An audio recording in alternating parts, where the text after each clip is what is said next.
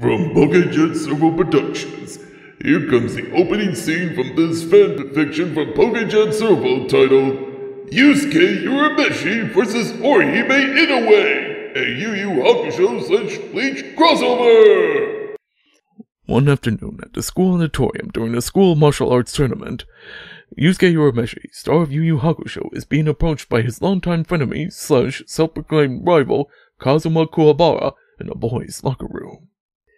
Urameshi! what is it now, Kuwabara? I got a bone the pig with you! What for? Look, I already beat you in a tournament. Rather easily, to nobody's surprise. So if you want a rematch, just wait until I'm done with this stupid tournament.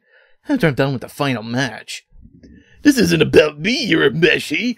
I've already heard who's going to be your final opponent, and it happens to be a lady. Oh, is that all?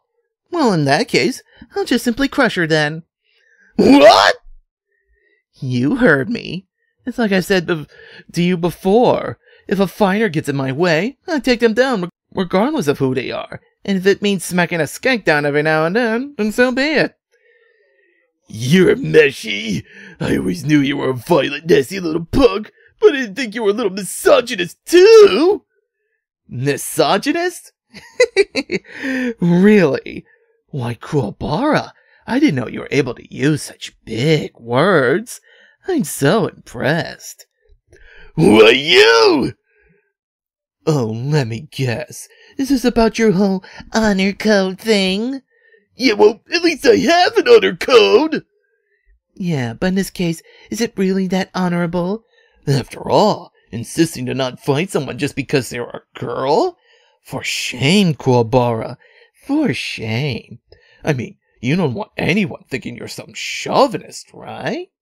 Sh- chauvinist? What is that supposed to mean? After all, since when did gender equality become a reason to justify violence, huh?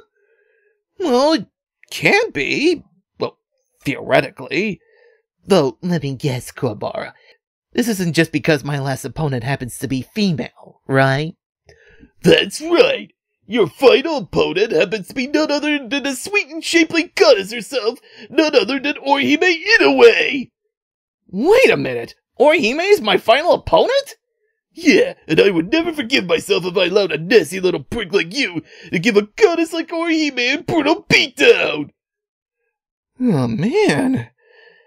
Alright, Kuwabara. As much as I dread saying this, but I do agree with you. Wait, what? Really? Yeah.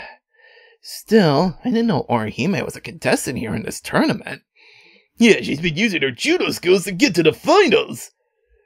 Really? So Orihime's judo skills got her to the finals? I gotta say, that is pretty impressive.